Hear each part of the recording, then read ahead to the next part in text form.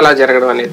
Right ఒకసారి దేశ రాజకీయాలు చూసుకుంటే రెండు వేల ఇరవై తొమ్మిదిలో జమిలీ ఎన్నికలకు వెళ్ళడానికి ఇప్పటి నుంచే మొత్తం రెడీ చేసుకుంటున్నారా? అంటే మోడీ వస్తే అవుతుందండి. మళ్ళీ. లేకపోతే కాదు. కాంగ్రెస్కి అది ఇష్టం లేదు. మోడీకి ఇష్టం ఉంది. ఎందుకంటే కాంగ్రెస్కి దేశవ్యాప్తంగా అంత సీన్ లేదు. ఇప్పుడు ఒకటి ఇంపాక్ట్ ఇంకోటి ఉంటది. ఫర్ ఎగ్జాంపుల్ రెండు వేల నాలుగులో చంద్రబాబు ఇంపాక్ట్ వాజ్పేయి నాశనం చేసింది.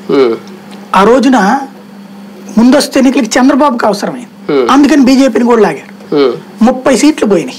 ఉమ్, ఆ ముప్పై సీట్లే కాంగ్రెస్ యాడ్. ఉమ్, వాస్తవంగా ఇప్పుడు ఇద్దరికి మధ్య తేడా ఎనిమిది సీట్లు ఏడో ఎనిమిది ఎంపీ సీట్లు.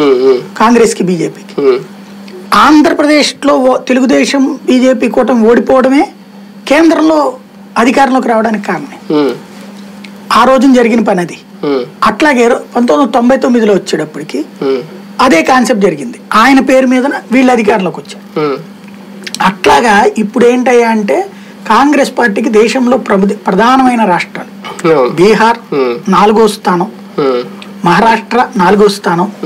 ఉత్తరప్రదేశ్ స్థానమే కనిపించట్లేదు. ఉనికి కోసం కొట్లాడుకుంటున్న పరిస్థితి. బెంగాల్ సున్నాతో ఉంది ప్రస్తుతం. తమిళనాడు వాళ్ళు ఇస్తే బెచ్చం మీద బతకాల్సి వస్తుంది. దేశంలో రెండు వందల యాభై నుంచి రెండు వందల డెబ్బై ఐదు సీట్లు ఉన్న చోటన పదిహేను నుంచి పాతిక సీట్లు మాత్రమే వస్తుందని ఉమ్, అట్లాగే బీజేపీ వర్సెస్ కాంగ్రెస్ ఉన్న సీట్లు రెండు వందల యాభై.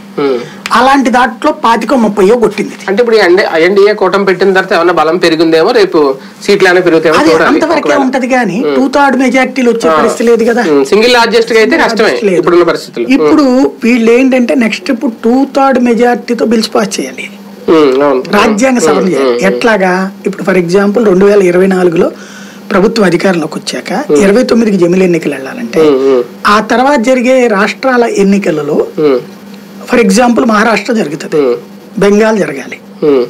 అక్కడ ఏంటి వీళ్ళు పెట్టేటువంటి కాన్సెప్ట్? ఆ ఎన్నికలకి ముందే ఆ శాసనసభ పదవీ కాలం మూడేళ్ళు నాలుగేళ్ళనే పెట్టాలి. అంటే ఇరవై తొమ్మిది లోపే అయిపోయేటట్టుగా. అని తీర్మానం చేయాలి. ప్లస్ దాన్ని మళ్ళీ హైకోర్టులో కాన్స్టిట్యూషనల్ బెంచ్ దాకా పోద్ది. రాజ్యాంగ విరుద్ధం ఇది రాజ్యాంగ అంటే రామ్నాథ్ కోవింద్ గారి కమిటీ ఏం చెప్తుంది? ఈ విషయంలో ఆల్రెడీ ఒకటి ఒక మీటింగ్ కూడా